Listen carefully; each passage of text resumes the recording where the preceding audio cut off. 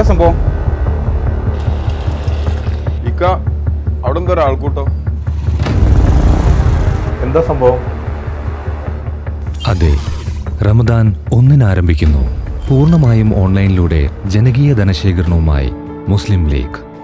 അപ്പുറത്തെ വീട്ടിൽ കുഞ്ഞരാമട്ടം മരിച്ചപ്പോ കോവിഡാന്ന് പറഞ്ഞ എല്ലാവരും മാറിയെന്ന്.